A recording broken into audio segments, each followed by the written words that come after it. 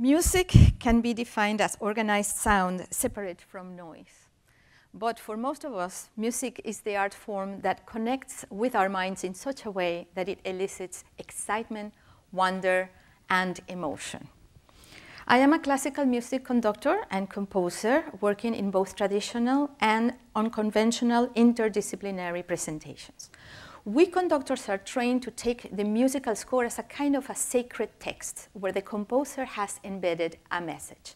Musicologists will tell you that even music without text will have ideas and knowledge from the time and place of the composer. We also have a community of listeners on the other side of this equation. The listeners in a receptive mode will accept the message of the composer. But I have become persuaded over time that the mind is not only a passive recipient of music. The mind, under certain circumstances, will transform the content of the music in the manner that the mind sees fit. The reasons for this are interesting, and we will discuss them a little bit today. Consider a situation that probably all of us have experienced you are in traffic and it's raining and you're a little bit distracted, and suddenly on the radio there emerges a familiar old song, and you are crying because you remember an old love.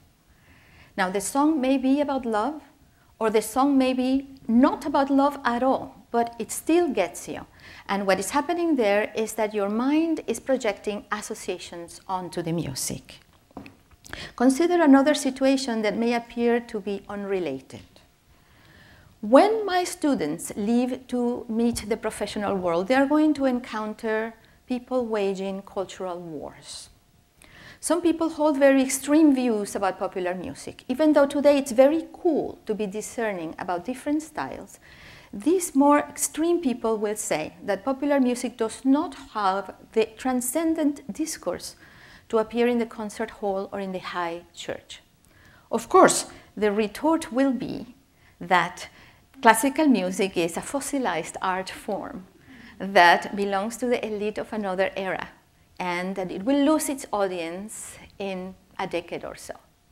In fact, statistics do demonstrate that symphony concerts are attended mostly by people over 50 years old and that the younger generations do not attend frequently. The Chicago Symphony is exploring a new alternative, and that is they are tying the concert to the club scene that is very appealing to the upscale urbanites in the city, and it seems to be working. So, what do we learn about this? Uh, statistics suggest a little bit of something, but these cases, in fact, are apparently only dissimilar in one sense, in the way they manifest. At the bottom of it, they can be analyzed from the analysis of context and perception. Some people will identify or fail to identify with a particular kind of music. It is important for us musical artists to figure out why this is the case. Those who love classical music will apply to it all the merits that you see here. Mostly they consider it to connect with the divine or the universal and sometimes the discourse is very long. By contrast, classical music offers entertainment, the joy of dancing, connecting with our friends and with the community. And this it does with short songs. It is very immediate. The truth is, however, that classical music has come to us over centuries and generations of listeners who thought it was wonderful enough to hold on to it, even though it may not have connected with their particular cultural context. It may have come from the aristocracy or the high church at some point in time, but I am not an aristocrat. Last time I checked, I was not a bishop, and I still love it. So instead, think, consider the case of popular music. If the songs of John Lennon, for example, who died 24 years ago, are still played 100 years from now, wouldn't those songs become the classical music of our great grandchildren? For all extents and purposes, both Mozart and John Lennon have transcended their time and place. So consider then that the, we develop this predilection for one style or the other at a particular time in our lives, and that was in our teenage years. Indeed, some studies have suggested that when we are teenagers, we are living very vivid and significant life transitions. Those life transitions sometimes depend on aspirations we have of identity and independence. And more often than not, they will imply also either conflict with our parents or other authority figures or the emergence of a first great love. In short, the emotional context is very intense, and therefore the music we encounter at the time will become branded forever as the soundtrack of our lives. Now, if classical music was played at home, or if we are teenagers invested in classical music, also Bach and Beethoven will be emotional, emotionally branded. As an artist working with a variety of musical materials, it is very easy for me to say that classical music can become emotionally immediate. What is always not so difficult, or not actually not easy, is to think of popular music as able to connect with deep emotional and spiritual content with some listeners. If that is the case, then popular music can be artistic. Why should this be so?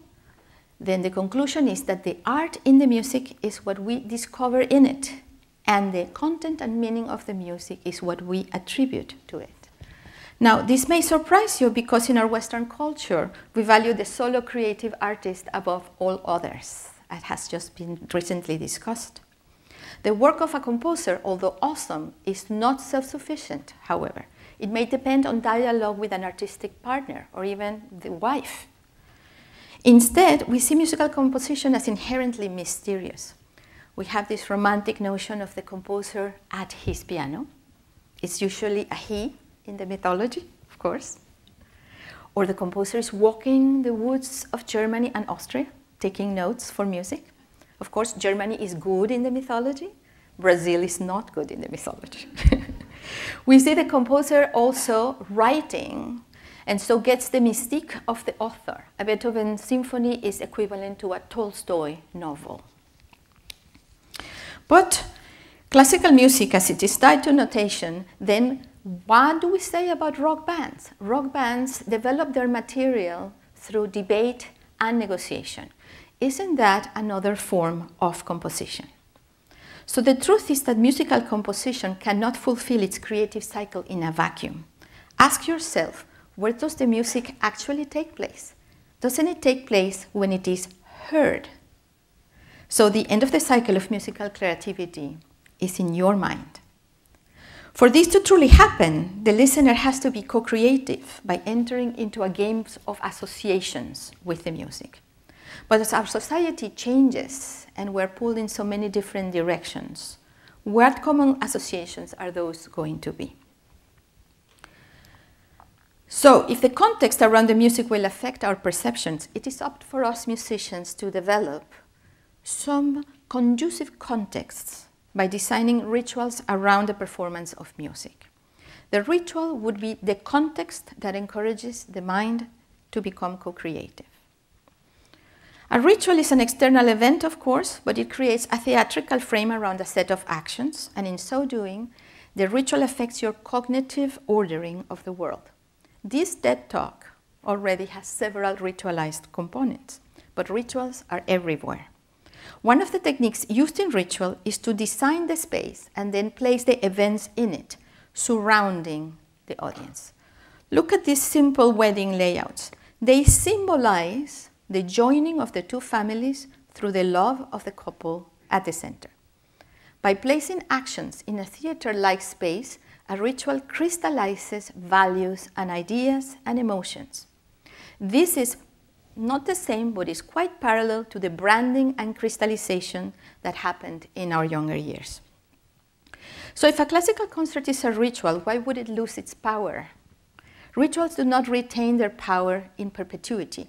They must represent the values of the society of the present. Or even better, they must represent the aspirations of the society going forward.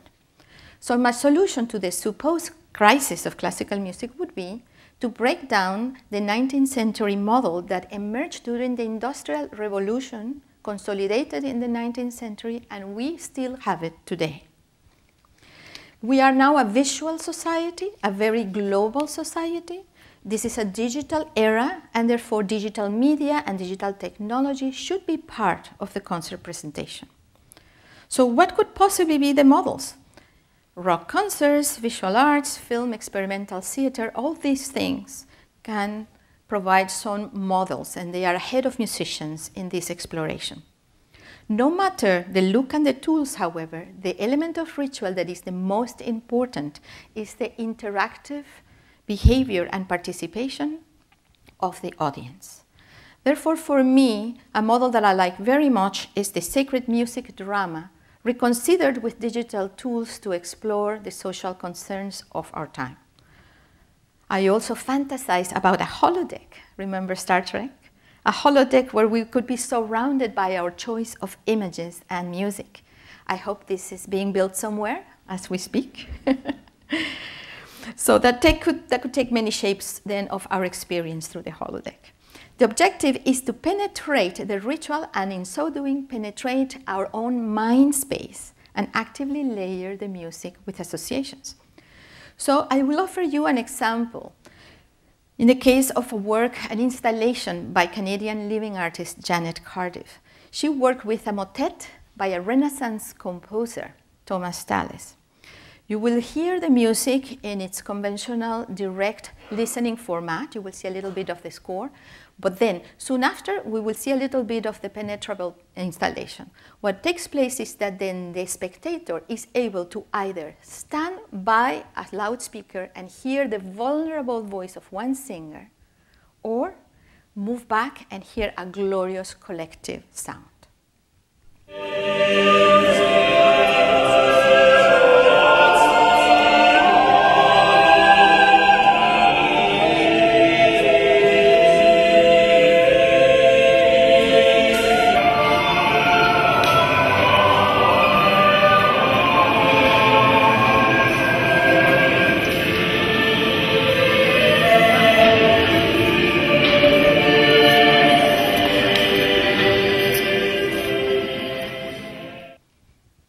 Great paradox is that after an experience like this, you would be tempted to go listen to the music on its own, which means that any ritual I may design is only the beginning of a process that will continue with your mind.